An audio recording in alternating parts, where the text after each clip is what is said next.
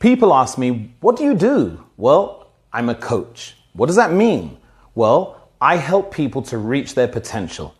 Whether you're in a leadership position and you want to improve your leadership skills, whether you're somebody who's having difficulty maintaining and developing their personal development, whether you're somebody who finds themselves at a crossroads in their career and needs advice and mentoring, I help people reach their potential. And I do that using technology. I do everything online. Of course, before COVID, everything was face to face. But now with COVID, our connected world has actually made it easier for me to help my clients from all around the world.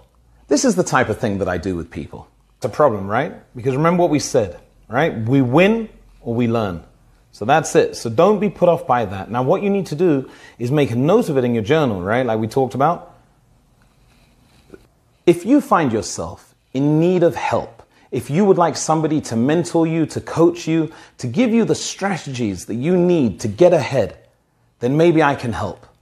Visit my website, the link is in my bio, www.abdurahmanafia.co.uk to get an idea of what I do and the types of packages that are available. After that, you can book a discovery call with me, complimentary, and we can talk about things and see how we're aligned. And if we are, then we can take things forward.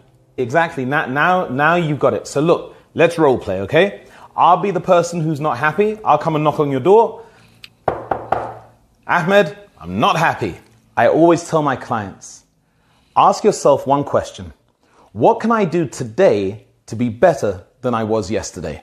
That's it. What can I do today to be better than I was yesterday?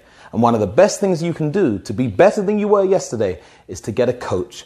Get somebody to help you get from here to where you need and deserve to be. Contact me today and let's talk.